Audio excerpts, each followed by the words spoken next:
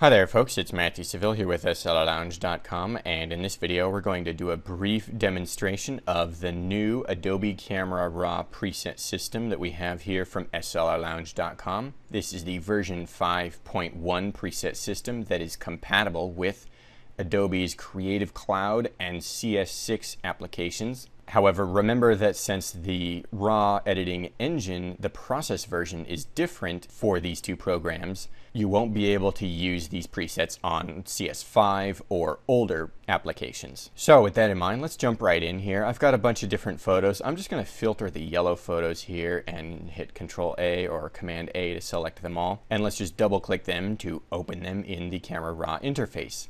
Now, this is what the Camera Raw interface looks like. Now, if the window isn't full screen, it's probably because you haven't hit full screen mode, which is this little box right up here, or just hit F. Now, your next question is probably, where are the presets? Well, they're over here in this tab on the right called the Presets tab. It's got a little, it's got an icon with a little sliders. Here's all of the presets. Let's just go down. Uh, I want to demonstrate editing this image. First, let's zero out everything. And I'm just going to click Camera Raw Defaults here on this image. Or you can just hit Reset All right here, Camera Raw Defaults. And that'll do the same thing. But let's look through the list here and just talk about what we have. We have base soft presets. These are all our base presets. We have soft stylize, vivid, and vivid stylized. These are your base presets and you want to pick a preset based on what you want the overall look of the image to be. If it's a portrait, if there's skin tones in the image and it's, uh, you know, the face or the skin is this close to the camera, then you probably want a soft or a soft stylized foundation upon which to build. Or for example, if you have this image here where it's a guy, you know, guys can look a little bit more toned if you crank up your clarity.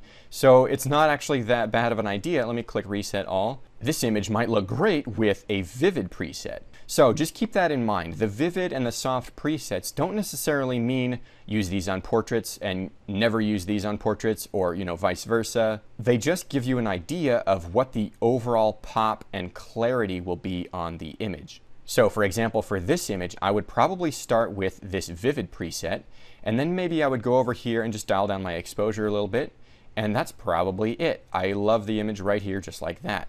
This sunset is so gorgeous that it really speaks for itself and you know the action going on here. Uh, I really don't feel like doing anything special or stylized to this shot so let's go back to this one. This one is a very good candidate for some sort of bright warm vintage fade and to do that I'm going to go to the preset system here Let's start by just doing the soft import. And you can see the image got a little bit more vibrant and a little bit more gentle and soft, but it didn't, you know, overcook the saturation in the skin tones or anything. If you want, you could do extra soft, and that looks really nice. It's, you know, flattering. But obviously it needs a little bit more work overall, maybe brightening up. Of course, we'll get to that in a second. However, for this particular image, I know for a fact that I really want to do something stylized. So let's just go through and look at what the soft stylized processing would be. This one's a little bit too bright and faded. I'm going to try the neutral fade or the filmic color.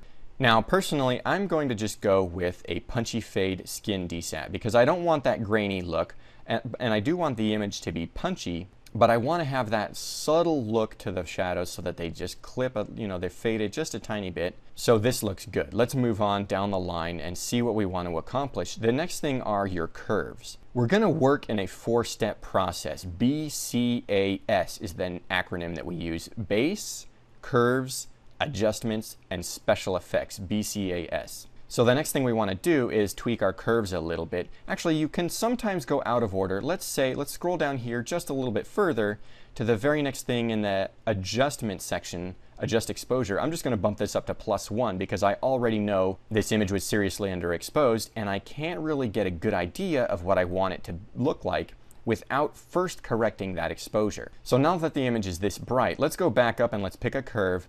I know for a fact I want to do it warm, but you can see here we've got neutral curves that will do things to fade the overall image, but it won't bump it in the warm or cool direction. So for example, a neutral punch, you know, give it a little bit of a cross processing, or a vintage punch, you know, give it a little bit more fade compared to a neutral punch. However, like I said, I definitely want to go in the warm direction here. So here's my warm curves. You can see this whole section. I'm going to go to the same thing, the neutral punches and the vintage punches, But I'm going to try these amber, apricot. I love these two right here. I also love these two down here. This one looks great. I really love the overall look. However, it seems like the image is almost a little bit too desaturated. So what we're going to do is we're going to come down here to the adjustments, which is the next step in the workflow process. And usually, honestly, you should not have to adjust most or any of these if you pick the right preset in the first place. The base presets should set the foundation for almost all of these options. And if you're tweaking all of these settings here, these presets, then you're probably doing something wrong as far as picking your original foundation. As a good general rule, you should really only have to use these adjustments if, of course, you nail your white balance and your exposure in the first place. You should really only have to use these adjustment presets once every 5 to 10 images to correct minor issues or details that are unique to that particular image. So for example, in this image, I'm going to scroll down here and adjust my saturation. I'm just going to, because this is only going to adjust the saturation, I'm just going to start clicking. I want to see what saturate light looks like. Wow, that's way over the top. Because remember, I already have other processing applied to this image to kind of enhance it overall. So what I probably want to do is do a skin desaturate something like this, skin desat.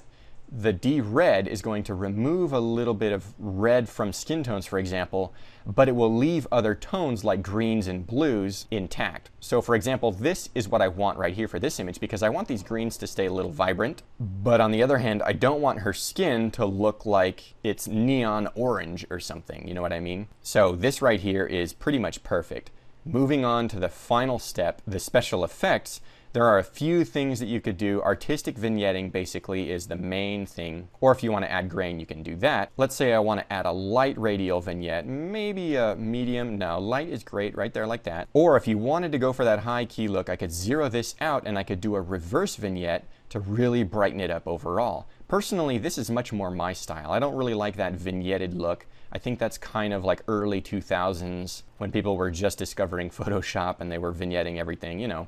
So I like a bright reverse vignette on a lot of these types of daytime images. So that's about it. Last but not least, if this image weren't already very warm, I could use some color scheme presets to do some split toning on this image. For example, if I wanted to, you know, tweak the colors just a little bit, this is clearly going in the direction of that, you know, faded film preset look. I don't want to do that. I'm going to hit Control Z Let's try some of these other ones. Obviously, these are very specialized and based on your own particular style as a photographer. I don't really think any of these are necessary because I believe the image stands on its own two feet without it, so I'm just going to reset the color toning right there. There's always a reset preset at the beginning of each category of presets, so keep that in mind. And that's about it. This is uh, all we've got, and this image looks great. And that was a good in-depth demonstration of how the preset system works. But let's look at how it works if you want to go for speed. I was describing every single step I was doing for this image, and I was taking my time to show you all the different options. But let's say I want to retouch this image, and I want to do it fast. Okay, so let's zero this out. I'm going to go Camera Raw Defaults. Now let's just try the presets. So I'm going to go straight to the base vivid presets here and I'm just going to click HDR max color. Boom, right away it looks great right off the top and I'm just going to bump up the exposure by a half a stop and honestly that's it. I'm done pretty much. Let's try this black and white portrait image here. I'm going to click zero out and reset all the camera settings here. Again think about your goal your objective with an image before you start. For example I know I want a moody black and white look for this portrait so I'm going to hit light crush B and W. Let me hit U and O keys so that I can see my clipped blacks. Now I see that I've got some clipped blacks here obviously, there's a whole ton. So again, I'm just going to hit it, bump it up on the exposure right there. That looks good. Maybe dial it back a tiny bit on the blacks, maybe get the highlights down a tiny bit, and there, I'm done. You can see how this system is taking just a few seconds to achieve the look I want to do. Let's try this image here. I'm going to do camera raw defaults again.